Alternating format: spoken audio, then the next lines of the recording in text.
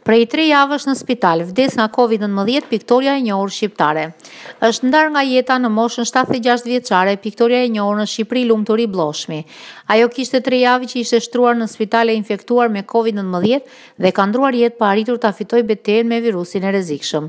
Lumturi Blloshmi lindi në vitin një mijë e nëntëqind e dyzet e katër në Tiranë. Ajo u diplomua për pikturë në Institutin e Lartë të Arteve Ka punuar në disa institucione kulturore, së fundmi në Institucionin e Monumenteve të Kulturës në Tiranë.